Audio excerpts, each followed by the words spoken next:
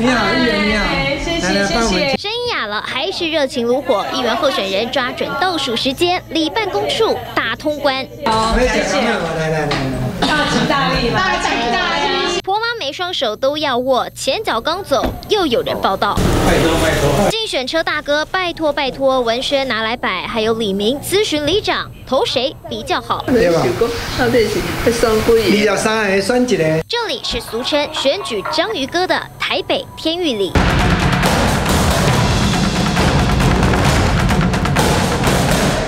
去开票，他们绝对是全台北市瞩目焦点。有人戏称，赢得天域里就赢得全台，因为选举结果总是相符。旧的议员跟新的议员，要未来想要再从政的议员，他们都会来这边先了解一下，所以我们就给一个机会，这边全部都妻子都给他们。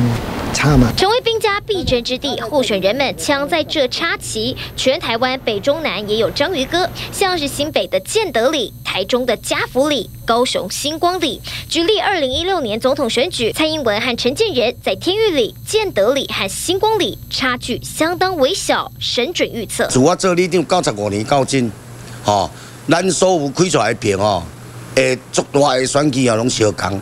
拢我差了零点几而已。少年呢，中间选民变侪了，老的嘛共款啦，你做了好，人就选你安尼。选情热度沸腾，这些指标的章鱼哥里，选民擦亮眼睛，不用当领头羊，选贤与能才能盖下宝贵的一票。记者陈世烈、王玉竹台北采访报道。